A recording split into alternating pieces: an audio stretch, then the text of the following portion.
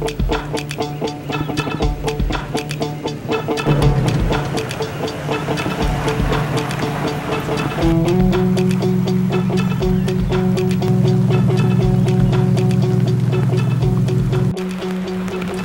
Scott, hurry, hurry, hurry. I'm going. Okay.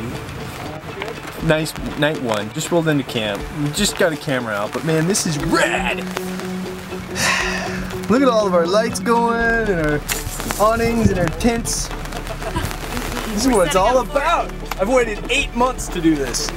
Here we are. Should we open up our tent? Open up our home? Let's do it. Let's open up Let's go cuddle.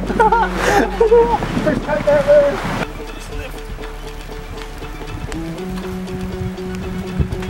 And then we get electrocuted.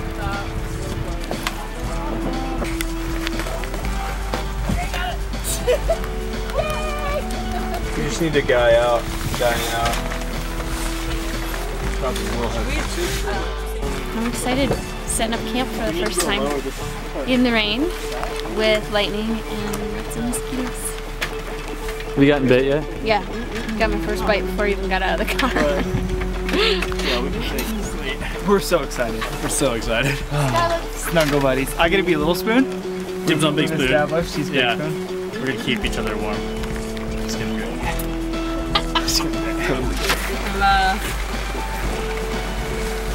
A good day. I'm glad it's not like 2 a.m. So this is, seems early for us. Yeah, it's uh, it's 8:40, which is actually a decent time to get in. We can get some dinner and So pretty soon, this amount of daylight is gonna be two in the morning.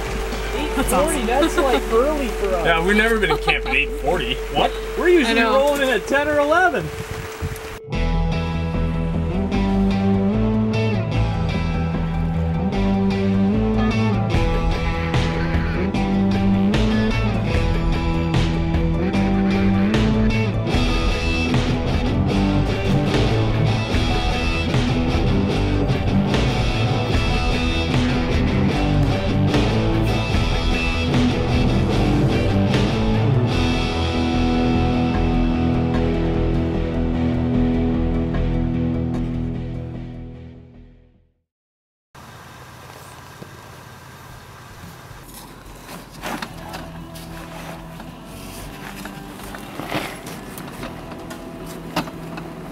two years ago, we had been in the same campground on our epic winter trip into British Columbia.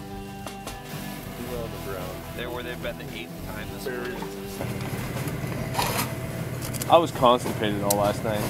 You? Stayed up because you were constipated? Dude, my stomach hurt so bad. I was like, A, I'm constipated beyond belief, or two, I have appendicitis. and, A and two? Right AM2 is a result of getting in at 2 a.m. the winter had been harsh that year. Just as we pushed into the wilds of BC, a strong winter system set in. Dumping snow continuously throughout our trip.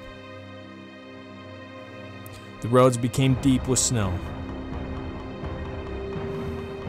Fuel mileage plummeted, and the effort to make our miles and keep moving forward became an all out assault on the road from the team. That's why you're out here is to step into the unknown, right? So, the unknown's going to happen. How do you deal with it? The challenges of the road soon took its first toll.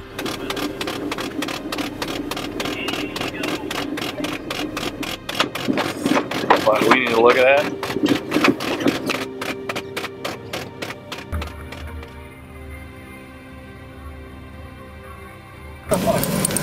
Oh, I was afraid of that.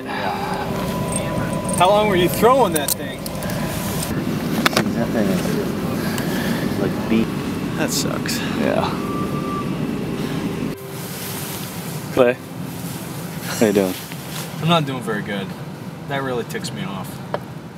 That's how I feel. I feel like that's a straight up neglect issue that causes that. It, it would take in one window to be rolled down to listen to your chains, and you would have known immediately that something was up. So, it's just careless. It's being careless. I know we're in a hurry, but we break our machines, it costs us tons of money, and Now it's going to set us back in our before our next trip. So frustrated, frustrated. That shouldn't happen. It is adventuring, and things like that do happen. So we'll roll on. Okay, so we're right here. Okay. So we've got. Uh, let me just get a ruler on this just to make sure my guess is semi correct here. Yeah, 27. 27 miles that way to highway. We needed to keep moving. Our heads had to be in the game if we were to get out before we couldn't move at all. Being snowed in was a real possibility. 100 miles into the backcountry roads, conditions reached their worst. Uh, shut your truck off for a sec. This just got serious fast. Throw down tracks again. No, we we don't think the road has been plowed at all up here. It's gotten got really deep. We need to look at alternate routes before we move any further. Yep. I'm not sure if there is alternate routes other than backwards. Backwards, we don't have fuel for. Yeah, exactly. Not really following those tracks anymore. That we're So we're at 586776. We have two miles. It's well estimated at two miles to get to this main road that we've been working to get at. It's not a main road. It's just a hopefully more plowed road. It's a more plowed road. Hopefully, at this point in time. I, I still say that the best course of action is to pull push forward. All right, we got a dip and then a climb. Stay on the road. Gonna go. It's a bridge. It's a bridge. I don't want to go off of that. No.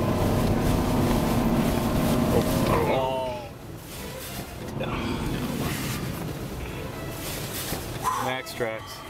Uh, we just got buried just after the bridge. We're we're stuck really bad. You are updated. I have you. Um, what's your assessment?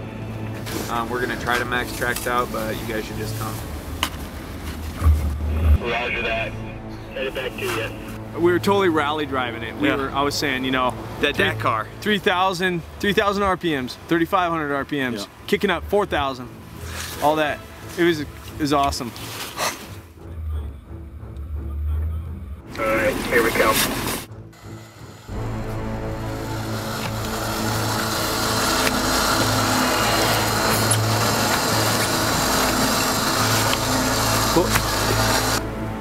That combination right there will get you out of anything. Yeah. yeah. Yeah. I think so.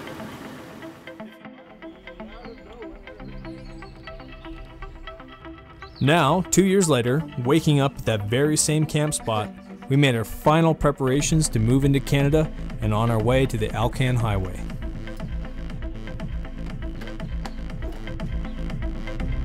Right now, we're filling everything up uh, here on the border before Canada because the gas is a little cheaper. And uh, we're going to head on into the deep stuff and have enough gas for everything we want to do. So. We sat at a local diner and made our final route plan, and crossed the first of six border crossings during this expedition. British Columbia is an incredible place of beauty and adventure. Little did we know we will have another date with fate in this province. Nearing the Yukon border, conversations moved to deeper matters as the team began to grow closer. Were you born and raised in Colorado? Yeah, um, outside of Castle Rock, we had a horse ranch. I moved when I was nine, but when I was 14 is when it started going downhill. Not having anything to do. Found things to do Right. That occupied a lot of time and brain cells. Right. And yeah, Sure. so that lasted for four years of experimenting, Uh-huh. trying things. What brought you out of that? A girl. Oh yeah. Yeah. I asked her out and she said yes, which she probably shouldn't have because at the time I was still selling stuff and doing stuff and but she brought me to church, and I wore a suit because I thought that's what you did when you went to church. Sweet. No, only one in a suit, sweating, looking like a goober. So yeah, um, immediately left church that first day and went and smoked pot to try to like calm down. Yeah. Because I, you know, that was really uncomfortable.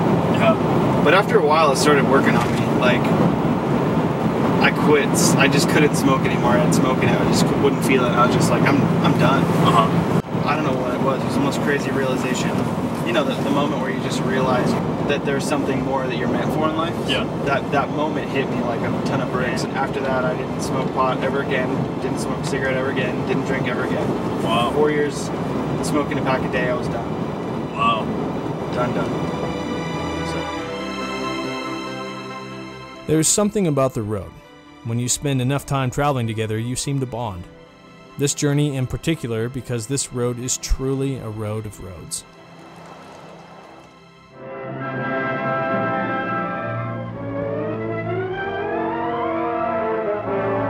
Most people, if they thought of Alaska at all, thought of it as a cold, rugged wasteland of little value except for its gold, fur, and fisheries. Now, suddenly, it seemed to have considerable additional value, both to us and to the Japanese. And its strategic position was not comforting. The great Japanese air and naval base at Paramushiro was only 750 miles from Attu. Attu was only 1,200 miles from the mainland of Alaska. There was no overland connection across the wilderness of northwestern Canada. The Canadian government had already carved out a series of five airports between Edmonton, Alberta, and Whitehorse, Yukon Territory. And there were other fields in Alaska between the Yukon border and Fairbanks. With Canada's consent, the United States War Department decided to build a military highway from Rails End at Dawson Creek, British Columbia, to Fairbanks, Alaska, to link up and supply these airfields and to provide emergency access to Alaska for troops and materiel. This highway would extend roughly 1,500 miles, about the distance from Washington to Denver.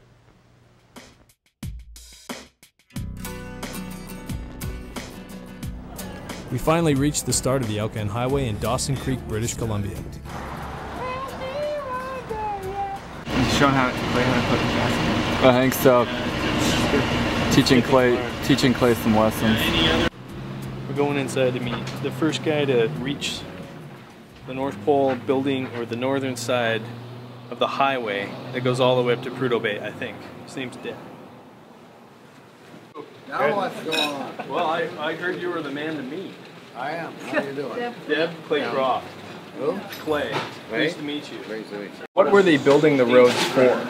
The road was built basically because uh, uh, the Japs and them had submarines, and the Germans come over on the Aleutian Islands and along the coast. So they built an inland road. Otherwise, they could uh, their ships just by shipping. All they had to do is keep sinking their their oil ships or whatever. They couldn't know how they couldn't do it, and that's why they built the last highway. Money was no object. All the contractors had a cost plus job. Wow. Uh, man, it went every little ways.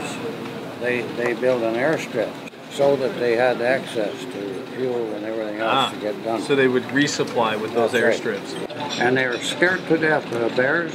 And man, oh man, if they heard about a bear anywhere, there'd be 10 or 13 together. And you couldn't get them out of that camp. They were just scared to death of bears. And them trucks they sent, a lot of them didn't even have heaters in them when winter hit.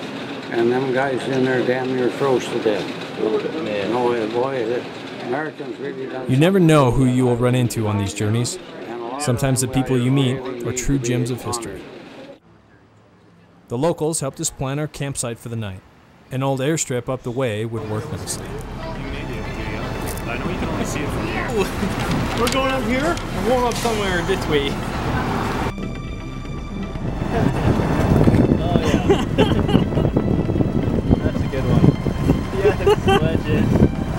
It's hungry.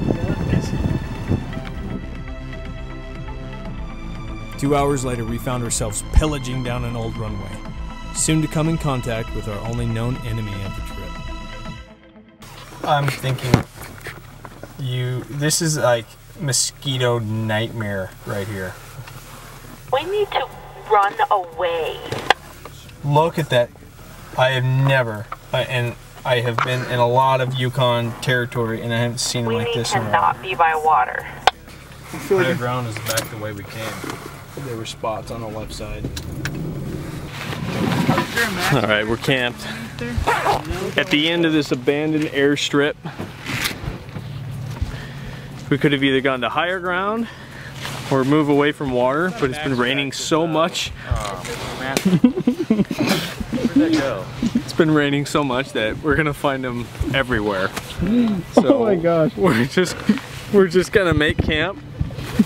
I'm getting covered. look at look at this. I just inhaled one. nice. God. there are so many mosquitoes. You will not win. I'm caught. That's good. I want in. Now's the time to get in the mental state of you can't beat them. Do it, babe. You just have to. to. 'em. You can't join them. You just have to accept them. It's supposed to be epic mosquitoes of all time in the in Alaska and the Yukon. I heard they're sold out on bug spray. So nothing you can do about it. Seance. Perish in the flame of citronella. Lover of all things. Uh, the candles on the gas cherries, just saying. Where are they? Oh, that's smart. Good call. Let's not blow us up. How about that? Are you up for it, Rhonda? Yep. Game face? Game face.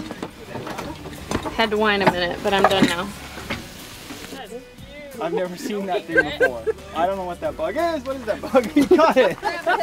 Here, show, show it to the camera. Oh, it is a bee. Look at that stinger. Well, uh, that's like my son. He gets stung and he just he's like, oh, that hurt, and he goes back to catching them. Are you serious? what are you doing? Now that we're done cooking, Yep. the mosquitoes have left. I don't know. Mm. Rhonda, great job. You like that? Mm-hmm. Thank you. Very much. It's amazing. Ow! Ugh. The four days of hard driving had begun to take its toll. We needed something to take the edge off. Liard Hot Springs had our GPS's destination setting.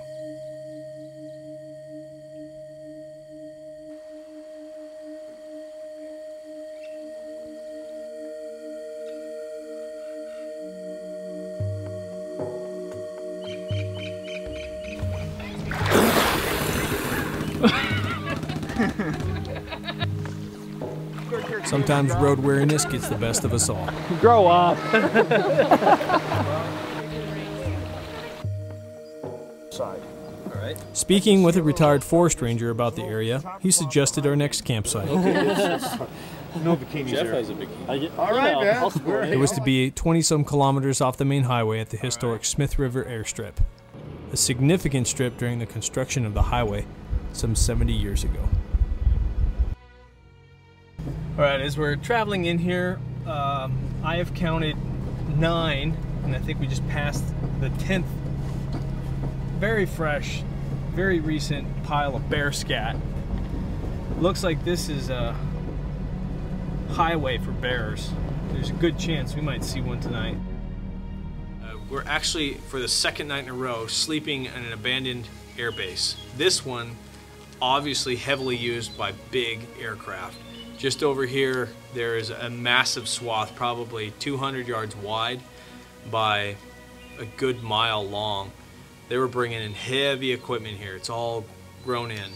And where we're sit, where I'm sitting right now is actually one of the bunkers that those soldiers used while that air base was operating. And to me, this is fascinating. I love this stuff. To know that someone used to walk in here, that commands and generals were giving orders and people were following them out, missing their loved ones at home. It was all happening right here. And now the winters have pretty much taken this building since 1945. And uh, this is what's left of it. But what a cool piece of history.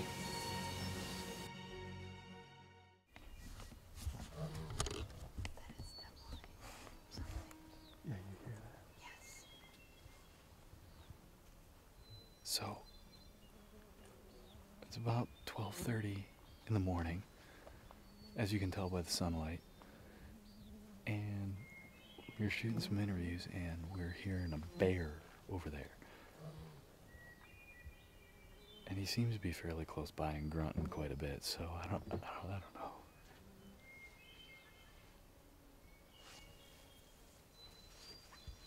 We might have to post a man.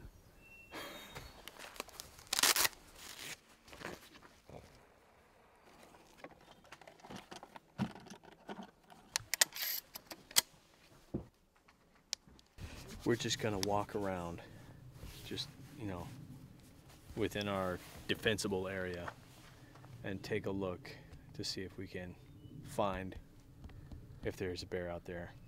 A lot of times a bear can sound like a moose, but this sounds like a bear to me. So anyway, we've got big lights. First initial is a bear banger. Then we can't get it to go away, we got a bean bag or we got rubber bullets.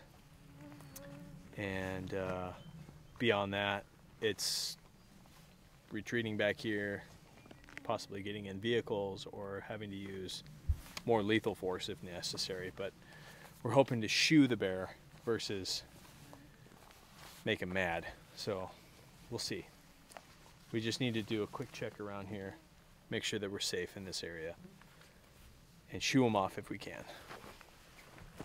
without doing something stupid. Stupid? Stupid.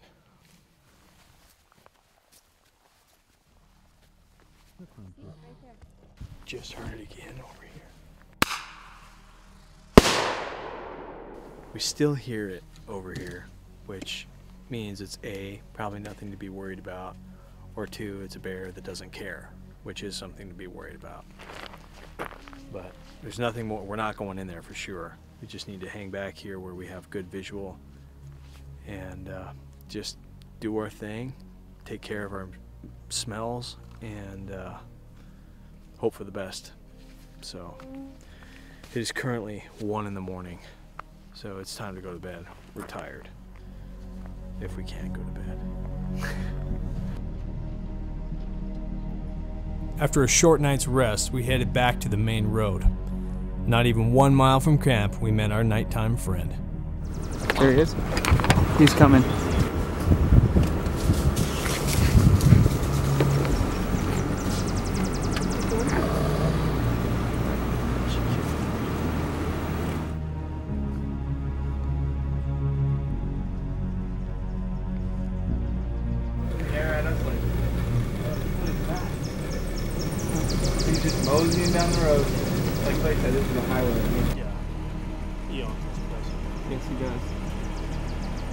Wander down the road.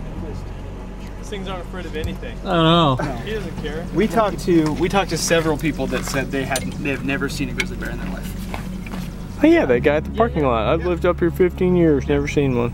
Lived here, never seen. Wait, one. he said since 86. Is he still out? He said he's been here since 86. What luck. Is he still out? No, he, he went back in the He woods. just kept walking. I've never seen one before. That's so cool. crazy. That, that dude's a That was a grizz, right? Yeah. Seriously? Oh my god. That's so cool. Yeah, like he said he's seen his son fly.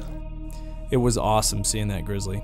Seeing an animal like that sets in stone that you are in the wild. I can say that at this point, we are all settled into the trip, mentally ready for the next six weeks of exploration and travel. What's ahead, the road only knows.